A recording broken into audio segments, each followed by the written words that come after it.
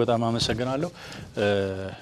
አቶ ቴዎድሮስ የተነሳው ላይ ምንድን ነው አጠር አድርገን እንዳልኩት አንድ አመት አካባቢ ይቀረዋል ምርጫው።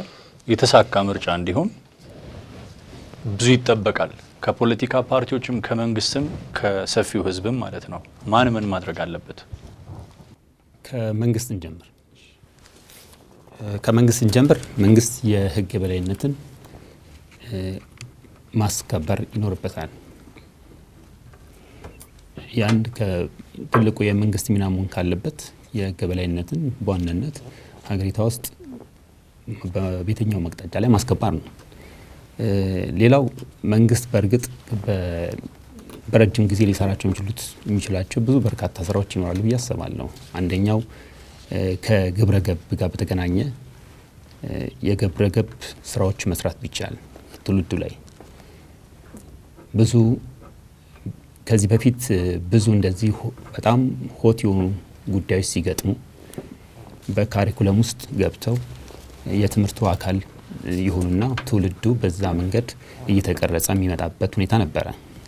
አሁንም በቀጣይ በተለይ ከነኚህ ከማህበራዊ ሚዲያዎች አኳያ እንደሱ አይነት ስራዎች ይሰራሉ ብዬ አስባለሁ።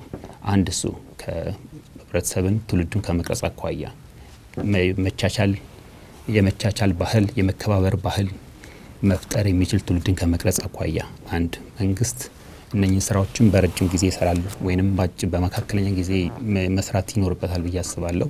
ለጊዜው ግን በዋናነት የህግ የበላይነት በሀገሪቷ ውስጥ መስፈን አለበት። አንድ እሱ ነው። ሁለተኛ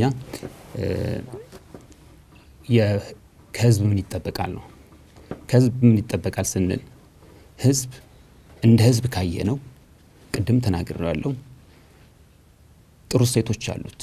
የኢትዮጵያ ህዝብ የትኛውም አቅጣጫ ላይ የሚኖር የኢትዮጵያ ህዝብ እሴቶች መልካም የሚባሉ እሴቶች ለረጅም ዓመታት ለዘመናት እነኛን እሴቶች ይዞ የመጣበት ሁኔታ አለ። እነኛ እሴቶች ግን በመሀል ግን የተወሰኑ አካላት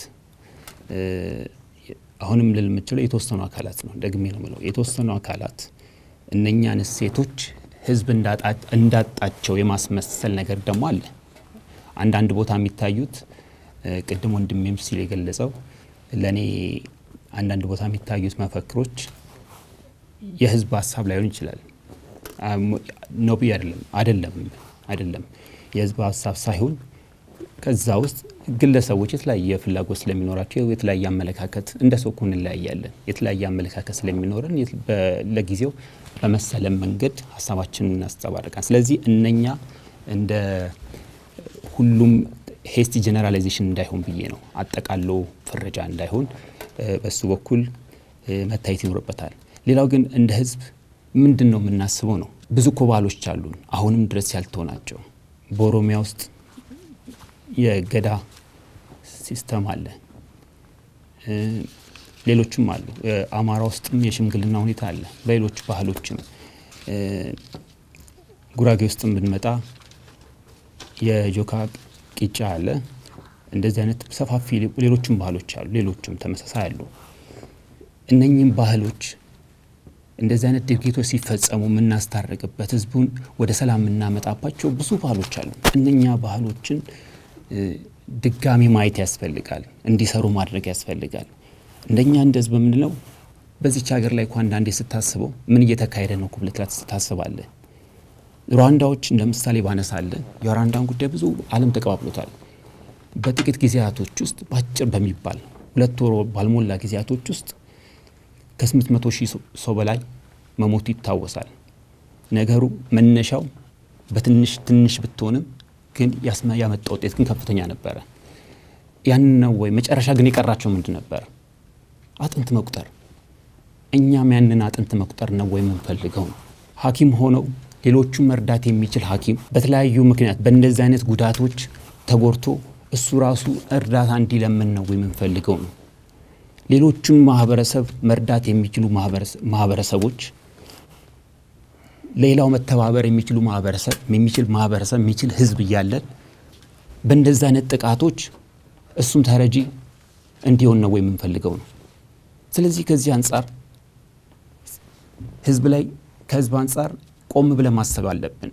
ከስሜት መውጣት አለብን። እንደ ህዝብ እያልኩኝ አለም ህዝቡን አይደለም እየተናገርኩኝ ያለ ሁላችም እንደ ግለሰብ ልናየው እንችላለን። ከስሜት ወጥተን ብንሰራ የሚል ነገር አለኝ። ሌላው ከግጭቶች ግጭቶችን በተመለከተ ግጭት ሁል ጊዜም አለመግባባቶች ሊኖሩ ይችላሉ። ግን ትላልቅ ግጭቶችንና ትላልቅ እንደዚህ በየአካባቢ የሚኖሩ ግጭቶችን የሚፈጥሩት ግን የጥቂቶች ግብዣ እኮ ነው።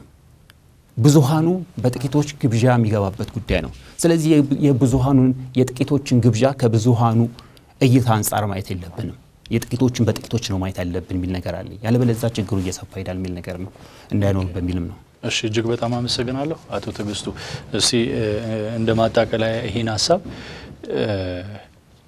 ከህዝብ አንጻር ከመንግስትና ከፖለቲካ ፓርቲዎች አንጻር መሆን ያለበት ነገር ለቀጣይ እንቅስቃሴ በፖለቲካ ፓርቲዎችን ባስቀድም ገዢ ፓርቲውን ጨምሮ ማለት ነው። ፖለቲካ ፓርቲ ስል ቢያንስ ስለ መጪው ምርጫ ስኬታማ እንዲሆን፣ ዲሞክራሲያዊ እንዲሆን፣ ፍትሀዊ እንዲሆን ብሔራዊ መግባባት መድረስ አለብን። ቁጭ ብሎ መወያየት በምርጫው ሁኔታ ላይ ህግ ወጥቷል። ያን ህግ በማስፈጸምና በመፈጸም ደረጃ መግባባት አለብን። ሁለተኛ ከዛ ጋር ተያይዞ የህግ በላይነቱን መረጋገጥ መቻል አለበት። ፖለቲካ ፓርቲዎች ደረጃ ይሄ አሁን ቅድም ሌሎቹ ገልጸውታል። ስለ አሜሪካም ስለማልፈልግ ነው። ይሄ የእብጠት ቲዮሪ ያላቸው ፖለቲካ ፓርቲዎች አሉ። ምንም የላቸውም፣ ግን አንድ ግለሰብ በመሀላቸው የሚታወቅ ካለ የማበጥ ሁኔታዎች አሉ። ይሄ በገዥውም ይታያል፣ በተቃዋሚውም በሚባለው ቡድንም ይታያል። ይሄ የትም አያዋጣም። ከአሁን ቀደም የነበሩት ምርጫዎች የተቃውሞ ምርጫ ነው። በጥላቻ በፍረጃ በስድብ የታጀቡ ምርጫዎች ናቸው። የአሁኖቹ ግን ፖሊሲ ተኮር እንዲሆን መሰራት መቻል ለዚህ ደግሞ የተጀመረ የዚህ ኮቨነንቱ አለ። ይሄ የቃል ኪዳን ሰነዱ በርካታ ነገሮች አሉት። በእርግጥ በመካከላችን መከበር ያለበት ማለት ነው። እሱ ማክበር መቻል አለብን። ያ ካከበርን መከባበር ይኖራል ብዬ አስባለሁ። በምርጫው ውስጥ በቃ በራስ መጠላለፍ አያስፈልግም። ውድድር ነው እንዴ ፋውል እኮ ነው። አንድ የሚሮጡ ሰዎችን የምጠልፍ ከሆነ እኮ ፋውል ነው አይደለም እንዴ? ስለዚህ በተሰጠህ መስመር የሩጫ ትራክ አለ አይደል? በዛ መስመር በአቅም ልክ መሮጥ እኮ ነው የሚያስፈልገው ምርጫ እንጂ በመጎተት በጠልፎ በመጣል አይደለም፣ በሀሳብ ነው። ስለዚህ ምርጫችን የሀሳብ እንዲሆን ምቹ ሁኔታ መፈጠር መቻል አለበት። ይሄ እርግጠኛ ነኝ ምርጫ ቦርድም ህብረተሰቡም ነው። ምርጫ የህዝብ ነው፣ የፓርቲዎች አይደለም። የሚመርጥ ህዝብ ስለሆነ ማለት ነው። አንተ ለመመረጥ መቅረብ ነው ያለብህ። ለመመረጥ አምረህ ምን ብለህ ብቻ አለ አይደለም። በሀሳብ ራስን ገንብተህ መቅረብ አለብህ እንጂ በጉልበት ገንብተህ አይደለም። ያ ከሆነ ስንታገለው የነበረውን የገዢውን ፓርቲ አፈና መለስ ነው ማለት በሌላ ተካ ነው ማለት ነው። ሌላ ትርጉም የለውም። ስለዚህ የገዢው ፓርቲ አሁንም በቀላሉ ቅድም አቶ ልጄ እንዳለው በቀላሉ ይሄንን ያፈና እንትን የሚገላገል አይደለም። ተወዳዳሪ ነው ተወዳዳሪ ነው በምርጫ ወቅት። ስለዚህ መንግስት አቅሙ አለ፣ አደረጃጀት አለ፣ መንግስታዊ መዋቅር አለ። ያንኑ ሪፕሊካ ሊመጣ ይችላል። ያንን ልንቋቋምበት የምንችልበትን መንገድ ግን መፈጠር መቻል አለበት ከወዲሁ በዝግጅት ወቅት ማለት ነው። ይሄ በፓርቲዎች ደረጃ ነው። መንግስት ደግሞ በቃ የትኛውም ሀገር ከአምባገነናዊ አስተዳደር ወደ ዲሞክራሲያዊ ለመሸጋገር የመጀመሪያ ድርሻ የሚወስደው መንግስት ነው፣ አምባገነኑ መንግስት ነው። አለበለዛ በሌላ አምባገነን ነው የሚተካው። ደርግ አምባገነን ተባለ፣ በጠመንጃ ሲሸነፍ ሌላ አምባገነን ነው የመጣው። ነገር ግን በዲሞክራሲ የሚሸነፍ እንትን መጀመሪያ ራሱ ፈቃደኛ የሚሆነው ለለውጥ ያ ነው። ያለን experience ነው፣ በአፍሪካም በዓለምም ያለን experience። ይህንን አሁን የተጀመረው የለውጥ ሂደት ይህን አጠናክሮ መሄድ አለበት። ዝግጁ የመሆን ሁኔታ በመንግስት ደረጃ እንደ ህዝብ ደግሞ እንደ በፊቱ መሆን የለበትም። ምርጫ በተለያየ መንገድ የሚደረጉ የምርጫ ሙስናዎች አሉ። ከምርጫ ሙስና መውጣት አለበት ሰው ራሱ። ሁለተኛ ነገር በነጠረ ሀሳብ ላይ በገባው ሀሳብ ላይ ኖሌጀብል ሆኖ መምረጥ አለበት። በቃ ስለሚመርጠው ፖሊሲ እውቀት ሊኖረው ይገባል። ስለዚህ ከዛ አንጻር ህዝቡ ወደዛ እንዲሄድ መጀመሪያ ለሁሉም ግን ሰላም ይጠይቃል። ሰላም ካልተረጋገጠ ራሱ ምርጫው የግጭት ሰበብ ነው የሚሆነው ምክንያት ነው የሚሆነው እና መጀመሪያ ሰላማችን ለሰላማችን ደግሞ ይሄ የተጀመረው የውይይት መንፈስና ሁኔታዎች ከህዝቡ ጋር ተጣጥመን የምንሄድበት እድል መኖር አለበት። እሺ፣ አመሰግናለሁ አቶ ትዕግስቱ። አቶ ደጀኔ እርሶ ጋር ልምጣና በተነሳው ላይ አጠር ያለ ሀሳብ መስጠት ይችላሉ። ግን እንደ ማጠቃለያ ሀሳብ ከዚህኛውም ርዕስ ወጣ ባለ መልኩ አንዳንድ ጥያቄ ልጠይቃችሁ። እንደሚታወቀው በጠቅላይ ሚኒስትር ጽህፈት ቤት የተዘጋጀ አንድ ውይይት እንደነበረ ይታወቃል ባሳለፍነው ሳምንትና እዛ ውይይት ላይ የማጠቃለያ ንግግር ጠቅላይ ሚኒስትር ዶክተር አብይ አህመድ ማድረጋቸው ይታወሳል እና እሳቸው ያን ንግግር ካደረጉ በኋላ ያን ንግግር በሁለት ከፍለው ሰነጣጥቀው የተመለከቱት ግለሰቦች አሉ፣ ሚዲያዎች አሉ። ይሄን ሳነሳ ጠቅላይ ሚኒስትር መተቸቱ ለምን ተተቸ ከሚል ፖይንት ሳይሆን ስለተተቸበት ጠቅላይ ሚኒስትሩ መንግስትም ሆነ ጠቅላይ ሚኒስትር ሊተች ይችላል። እዚህ መድረክ ላይ ሊተች ይችላል። ምንም ጥያቄ የለውም። ዴሞክራሲያዊ ነው። ጠቅላይ ሚኒስትሩ የሚቃወመው አይመስለኝም ይህን ጉዳይ። ግን እሳቸው የተተቹበት መንገድ ለማቅናት ነው የሚሰብር አይመስልም ወይ? ማለት እስካሁን ድረስ ከመጡበት እንቅስቃሴ አንጻር ስንመለከታቸው ያን ያህል ትችት ይገባቸው ነበር ወይ? እኔ እውነት ኢትዮጵያ ያልታደለች ሀገር መሆኗ ነው እንጂ እኔ እንደ ኦሮሞ ከኦሮሞ ቤተሰብ ነው የወጣው። እንደ ኦሮሞነት የኦሮሞ ሕዝብን የኦሮሞ ቡድን ነው ወይም ደግሞ ፓርቲ ነው የጎዳኝ። እኔ የአማራ አይደለም፣ የጉራጌ አይደለም፣ የሶማሌ አይደለም፣ የአፋር አይደለም። ከዛውም ደግሞ በቤት አካባቢ ያሉ ወረዳዬ ዞን ላይ ያሉ አመራሮች ናቸው የጎዱኝ፣ ለሀያ ሰባት አመት ያሰቃዩኝ በኦሮሞነታቸው በእምነታቸው ሳይሆን ትንሽ ለኢትዮጵያ ሕዝብ የሆነ ነገር ማስተንፈሻ ጠቅላይ ሚኒስትር ይሆናሉ የሚል እምነት ነበረኝ በራሴ በኩል ማለት ነው። እንደውም አላደርገው አሁን የሁሉ ትችት አሁን የምንላቸው ትችት ሁሉ እሳቸው ላይ ነው፣ አልሰሩም የምንለው ማለት ነው። ይሄ ደግሞ ሁላችንም ባየነው ትንሽ ዲሞክራሲው ሰው ይተንፍስ። ከዚህ በፊት ብዙ ነገር ሆኗል፣ ሰው ታስሯል፣ ብሶት ውስጥ ነው ያለው የሚለውን ትንሽ የለቀቁ ነገር ነው የሚመስለው። እነሱም political management ኡ ያ manage ያደረጉ ነገር ስላልመሰለኝ ነው።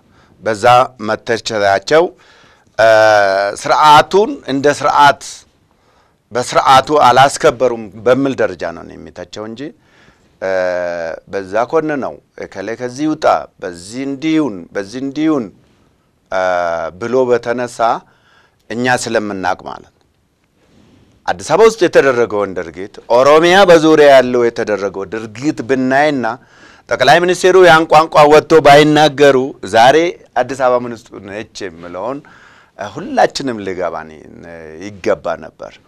የእሳቸው ንግግር ትንሽ የሆነ ነገር ያረገበ ይመስለኛል። አንዱ ማለት ነው። ቅርታ አድርግልኝና ወደ ማጠቃላይ አጠቃላይ አጠቃላይ የኢትዮጵያ ሕዝብ እንደ ሕዝብ በእያንዳንዱ ቤታቸው ማንነታቸውን አክብሮ የማንነታቸው power የማንነታቸው ስሜት እንዳለ ተቀብለው የኢትዮጵያዊነት ዜጋ እንዳለን አምነን የትኛውም ጥቁር ነጭ ውጭ ዜጋ የመጣብን ሰው ስለሌለ ተቃቅፈን እንደ ድሮ ፓርቲዎች አይደለም እንድንታቀፍ ያደረገው መንግስት አይደለም እንድንታቀፍ ያደረገው የኢትዮጵያ ሕዝብ ባህሪና ባህሪ ስለሆነ በማንም ሰው እንዳይነዳ ይህ ሕዝብ አደራ ለሕዝባችን መንግስት መንግስት ካሁን በኋላ የኢትዮጵያን ሕዝብ መሀል ገብቼ አምሼ ምን አርጌ አባልቼ ብሔርን ከብሔር ግለሰብን ከግለሰብ አንድን ቡድን ከአንዱ ቡድን በተለመደው መንገድ እሄዳለሁ ብሎ የሚያባላ ከሆነ በማል ትበላለህ። ስለሆነ ይህን እጅህን ሰብስብ ነው።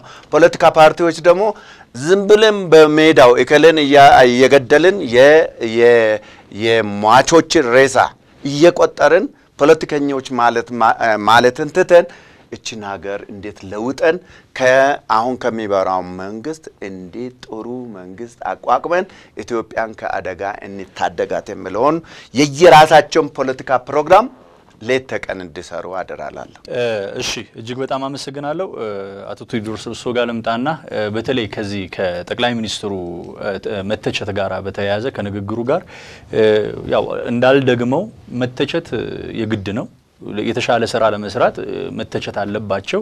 ግን እቺ ሰሞነኛዋ ትችት በሳቸው ልክ ያለ ትችት ነው፣ የሚመጥናቸው አይነት ትችት ነው፣ ተገቢ ነው ይላሉ። በሁለት መንገድ ማየት አለብን ብዬ አስባለሁ።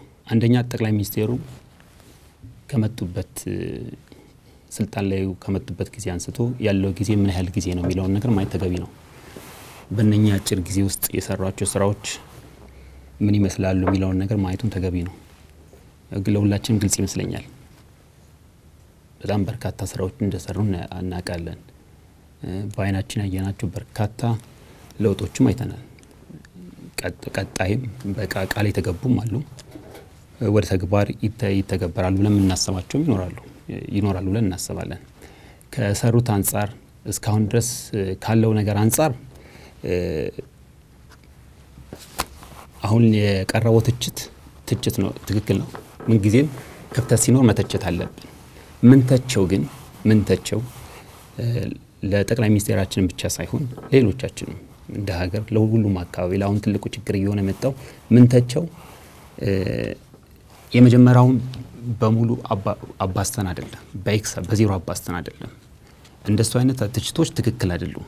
ግን ችግሯን ብቻ ሰዎች የተለያየ ስሜት ሊኖራቸው ስለሚ ችግሯን ብቻ እዚህ ጋር ክፍተት አለ ብለው የሚተቹ ከሆነ ተቺው ባየበት መንገድ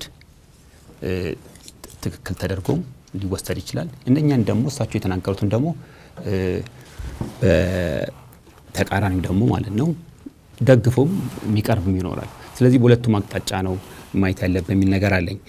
እንደ እኔ አሁን ካለው ሁኔታ አንጻር እንደ መሪ ስትሆን መሪ ስትሆን ግድ ነው አንዳንድ ጊዜም ከሳቸው ከመጡበት ባህሪ ካላቸው የፍልስፍና አንጻር ሁል ጊዜ የምንጠብቃቸው ነገሮች አሉ። ከዛ ትንሽ ትንሽ ጠንካረ ሲል ያዝ ሲያደርግ ትንሽ ቆንጠጥ ሲያደርግ ለትችት የመጋለጥ ነገር ግልጽ ነው። ግን ተግባር ላይ ምን ይመስላል የሚለውን ነገር ንግግራቸው መጥቶ ሪሊ በተግባር ላይ ሲውል መጥፎ እንድምታ ያመጣሉ የሚለውን ነገር ገና ሳናይ መተቸቱን ማለት በራሴ እጅግ በጣም አመሰግናለሁ አቶ ትዕግስቱ። ይሄኛውን ሀሳብ ሲሰጡኝ ከዚች ነገር ጋር ያስተሳስሩት። እንደሚታወቀው ጠቅላይ ሚኒስትሩ ወይንም አሁን ያለው መንግስት የህግ የበላይነትን በማስከበር ሂደት ላይ በጣም ወደ ሰፊ ሆነዋል፣ ችላ ብሎ ታይቷል የሚል ወቀሳዎች አሉ። እዚህ መድረክ ላይ የሚያየናቸው ማለት ነው። በሌላ ጎን ደግሞ ጠንከር ያለ ንግግር ደግሞ ሲናገሩ እሳቸውን ሁሌ ፍቅር ሲያወሩ ብቻ ነው መስማት የምንፈልገው የሚልም ደግሞ አካል አለ። ይሄ እንዴት ይታረቃል? በዛ ላይ ገምግሞ አንድ ላይ ችግሩ ይሄ ነው። ሰው የለመደውን እያየ ቆይቶ ያለመደው ነገር ሲመጣ መተቸቱ የግድ ይላል። ምክንያቱም ከእሳቸው አንደበት እንዲህ አይነት ቁጣ ምናምን ፈገግታ እና ፍቅር ነው እንጂ አላየሁም። ግን አሁን እኔ መንግስት መንግስት የሚመስል ነገር የተናገሩ ይመስለኝ የሚሸት ነገር እንደ መንግስት መሪ። ሁለተኛ ነገር ስንተች፣ በተለይ በመሪ ደረጃ በዚህ ደረጃ የሚገኘው ስንተች፣ ይሄ መሪ ወይም ይሄ አመራሮቹ ከህብረተሰቡ የወጡ ናቸው። ራሳችንም የተችን መሆናችንን ማወቅ አለብን። ስለዚህ ሁሉንም በሚዛኑና በልኩ ነው መመተሸት ያለበት። እኔ አሁን ትችትን የምቀበለው በጥላቻና በፈረጃ ሳይሆን መንገድ አገኘሁ ብለህ አድፍጠህ የምታደርገው ነገር ሳይሆን በአመክንዮ ሲሆን ነው። ያ አስተማሪ ነው። የመልአክ ስባሪ አይደሉም ጠቅላይ ሚኒስትሩ። ሁሉ ነገር የሚያውቁት ነገር የለም። በሚያውቁበት ነው፣ በልምዳቸው ነው ይህን የሚገልጹት። ሁለተኛ ነገር እንደ ጠቅላይ ሚኒስትር ደግሞ የብዙ አማካሪ ውስጥ ያሉ ናቸው። የሚሰሩት የመንግስት ነገር በአማካሪዎቻቸውም አለ። ምናልባት ቅድም እንዳልኩት ከተቃዋሚ ፖለቲካ ፓርቲዎች የሚያማክሯቸው አሉ፣ እንደ መንግስት መዋቅር የሚያማክሯቸው አሉ። ከዛ የሚመነጭ ፖሊሲ ንግግር ነው። እኔ ጠቅላይ ሚኒስትሩ ንግግር በአብዛኛው ፖሊሲ ንግግር ነው እርጌ የምወስደው ካለኝ ትምህርትና ካለኝ ተመክሮ አንጻር። ስለዚህ ዝም ብሎ ማንም ሰው ተነስቶ እንደሚወራው በፌስቡክ እንደሚያወራው አይደለም ማየው እና ሰው ባየው መንገድ አለ ምን ያየሁት በልካቸው መተቸት አለባቸው። ይሄን ነው የምቀበለው። ዝም ብሎ የወረደ ትችት ራስንም መስደብ ነው ብዬ ነው የምወስደው የእኔ ተወካይ እስከሆነ ድረስ በሌላ መንገድ ማለት ነው። ግን መናት መታየት ያለበት እነዚህ ስም ጠርተው የጠቀሷቸውም ሰዎች አሉ በትችቱ ውስጥ እና የጥላቻ አርጎ እንዳይወስደው ይሄ የኢህአዴግ ሴራ ባህሪ ነው። የሚፈልገውን በመጥላትና በማግለል የሚያወራ ነው። ምክንያቱም የእኛ ህዝብ ካለው መንግስት ጋር የሚቃረነውን ነው የሚቀበል በተጨባጭ የሚሆን በተግባር ይሄ ልምድ የሴራ ጉዳይ ነው።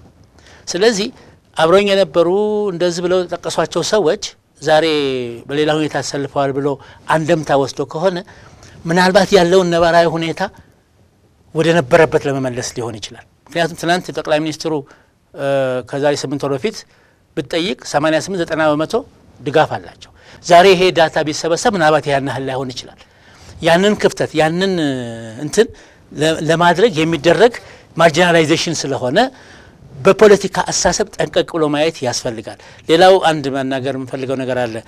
ይሄ ቅድም ከተነሳው ከባህር ዳሩ ጋራ ሌሎች ፓርቲዎችም ህብረት ወይም ውህደት የፈጠሩ ፓርቲዎች አሉ ተብሎ ሲወራ ነበር። ብዙ ስለተደወለልኝ በዛ አጋጣሚ አንድነት ነው እየተናገረ ያለው እዚህ አንድነት ፓርቲ እንደሌለበት፣ ሌሎች ግን በአንድነት የሚነግዱ ወገኖች እንዳሉ እዛ ሰው እንዲያውቅ ያስፈልጋል። አንድነት አንድ ነው፣ ይሄ ነው ብዬ ለማሳሰብ ፈልጋለሁ። እሺ፣ እጅግ በጣም አመሰግናለሁ። የዛሬው ውይይታችን የተከታተላችሁትን ይመስል ነበር። እንዲሁ እንደ አጠቃላይ እንግዲህ ጭብጡን ስንመለከት የትኛውም የፖለቲካ ፓርቲ ሀገር ውስጥ ህጋዊ እውቅና አግኝቶ የሚንቀሳቀስ ፓርቲ ከአንደኛው የኢትዮጵያ ጫፍ ሌላኛው የኢትዮጵያ ጫፍ ሄዶ መንቀሳቀስና አላማውን አስተምሮን ማስረጽ እንደሚችል የሀገሪቱ ህግ ይፈቅዳል። ይሄ ህግ ደግሞ አላግባብ ሊጣስ አይገባም የሚል መነሻ ይዘን ነው የተነጋገር ነው።